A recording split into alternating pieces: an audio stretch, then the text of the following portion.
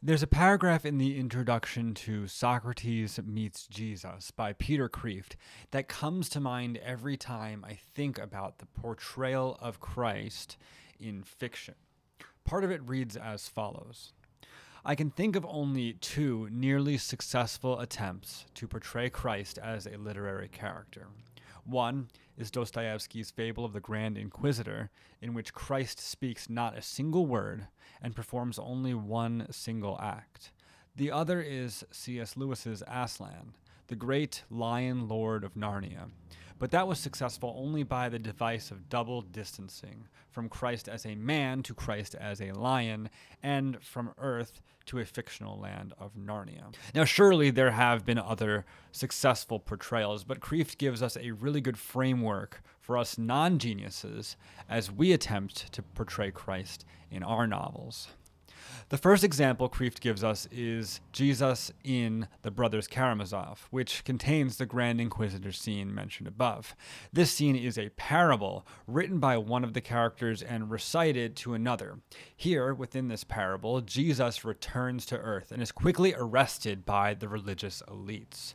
They sit him down, and one of them begins to explain why we, as a people, or they as Russia, no longer need Jesus. The whole speech is very long and essentially boils down to the assertion that organized religion can do better for the poor, religious peasants than Jesus can. The scene concludes with Jesus listening to the entire speech, giving the Grand Inquisitor a kiss, and walking out the door. If you have not read The Brothers Karamazov, you must, but that's a side note. If we look at Dostoevsky's portrayal of Jesus as successful, there's a glaring lesson to be learned. Jesus does not speak. I think this is really the best way to do it. Jesus, being God, is far greater than any of our imaginative skills can do justice. We can't possibly provide words that could be appropriately attributed to him and frankly, we shouldn't try. In fact, it might even be a transgression of the first and second commandments that is, no other gods, no graven images. A safe and reasonable rule for a Christian writer is to avoid portraying the person of Christ at all. But if necessary, have him say nothing. If God does speak, it might be appropriate to have him say things that we already know he has or will say. For example, well done, my good and faithful servant, if you, you know, manage to get to heaven, or depart from me, I never knew you if you're not going to heaven, that sort of thing.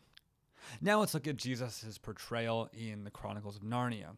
Kreeft seems to consider Lewis's attempt at portraying Christ a success because of the way Lewis was able to distance Aslan from Jesus. That is, the words Aslan speaks cannot be construed as words that Jesus has or would speak. Aslan is a Christ figure, but not here on this earth.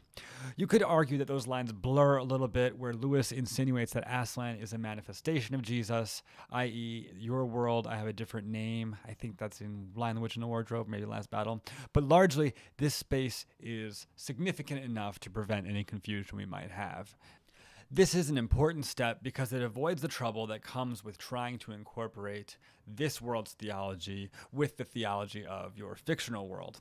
If you are trying to convey truth, there should be many similarities, but at least the differences won't be blasphemy because you are not talking about the real Jesus or the real God, rather, a Jesus figure. Beyond these two examples, another solution is to have no Christ figure at all, but instead Christ actions. Any character can act in a way that Christ did in a specific sense. Love, compassion, self sacrifice, these traits can be exemplified by characters that are not Christ figures, but rather representative of him in some specific way.